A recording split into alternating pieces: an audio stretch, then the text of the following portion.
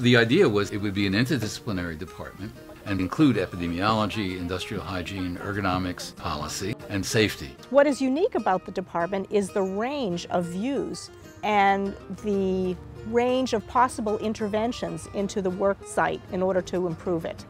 So that you have epidemiologists looking at the science and you have policy people looking at the politics. And those two things combined may produce some changes. A lot of public health is about problem identification, and it needs to be done in order to be able to figure out approaches to solutions. But there isn't a lot in public health which is focused on how you take that problem identification and then act on it, because the expertise or the focus isn't generally there. You use other disciplines to get at that. And I think one of the things we found at Lowell was that we could do it. We could be engaged in that. And that the solutions were not simply that there is technology available, but that the implementation of those solutions was not a technical issue. It was very distinctly a political issue, political with a small p. And in order to do that, we had to be actively engaged at the level of building the communities, the, um, the advocates for the interventions so that they actually came into place. And we did evolve a curriculum which was more successfully interdisciplinary, but we also came to acknowledge that ultimately we were going to be more midwives than creators of interdisciplinary program. It was going to be the students we trained who were going to in turn be able to create this interdisciplinary approach. They were looking for solutions, they were looking for alternatives. Many programs look at safety or just ergonomics or you know sometimes industrial hygiene, but they are not thinking in, in policy and they are not thinking in all together. And this is what this program has, and it is so attractive and is so needed because outside when you need to come up with solutions, you need to take into consideration all these different aspects. Epidemiology, uh, economics, industrial hygiene, policy, sustainable and clean production.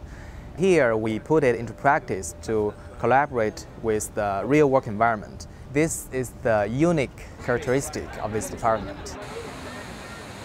There's a very uh, intentional uh, connection that we have to the Industrial Revolution that started here in Lowell, Massachusetts, in the United States. In the very buildings where textile mills started and workers came from all over the globe, we have programs in occupational health, safety, and the environment, continuing the work uh, that the mill girls, the mill boys uh, brought here to Lowell, this time making these workplaces healthy and safe it's giving me the, the confidence, it's giving me, I would say, the competence, and, and perhaps in many respects, it's giving me the currency to be able to think about negotiating very good um, safety regimes in the workplace. So if you are passionate about worker health, improving the, the quality of working life, I think all roads lead to Lowell, and there is no question about that. We have a global experience right here in our program in Lowell. This year we have over 23 countries represented by our students, and that has grown progressively every year. We have alumni who are running uh, institutes uh, across the globe. We have people working for the country of Slovenia. Metoda Dodic-Fikfak is a physician and epidemiologist running the Institute of Occupational Medicine. Uh, Mohammed Omar is a doctoral graduate in cleaner production and sustainability, assisting the uh, Saudi Arabian government building a uh, LEED certified green building city on the Red Sea. Our doctoral graduate Lynn Lee in cleaner production and sustainability, doing policy and strategic planning for the World Wildlife Fund. She travels onto the Tibetan plain of uh, China and all over the world, uh, building strategy for world wildlife and saving the panda.